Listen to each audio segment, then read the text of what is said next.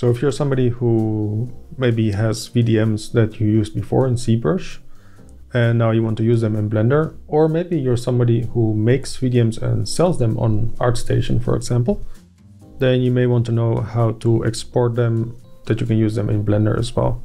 So it's pretty simple. You just go to brush, load brush, and then you open the VDM ZBrush file. You need to have some primitive object loaded. And so now you can see all these VDMs here. So I can select one and I can go to brush, to mesh.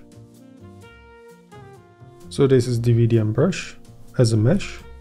And now we can go to texture from mesh. And here we have now our VDM texture, but as you can see, there's a problem with it. There's this red color. And uh, all around the displacement, it actually needs to be black in Blender. So we can go to deformation here and if it's red, then you need to mirror the x-axis. So x is selected and click on mirror. And now we can do the same thing from mesh.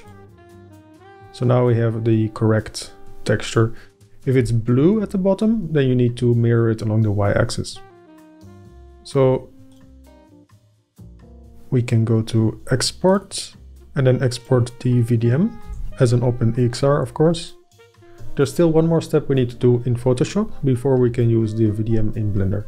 So open the VDM in Photoshop. Then go to Image Adjustments, Channel Mixer. And in the green channel, set green to 0 and blue to 200.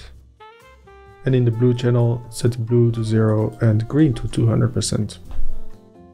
So now we've flipped the green and the blue channel and we've boosted them to 200%. So we can save this.